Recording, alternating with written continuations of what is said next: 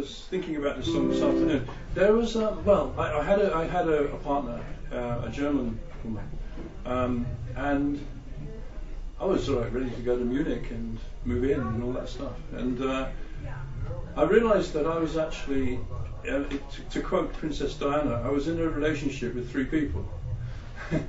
Me and my partner and her mother. And there was a huge dynamic going on uh, where she just could not escape from her mother's wishes. And um, it all came to a head one weekend when I went over there and started to paint a flat which her mother had given her as a present. And we had done what I thought was a lovely job. And the mother came in and just said, start again, do it again, you know. And I thought, what, you know, what's this about? And we did, we had to do it again. Um, so it gave rise to a song called Leaving Home, which is an Indian idea that uh, at a certain time in life you have to leave home. But to westernize it, I suppose you could say that at a certain time in life you have to leave your parents. You have to be free. Whatever that works out to be, you have to leave home.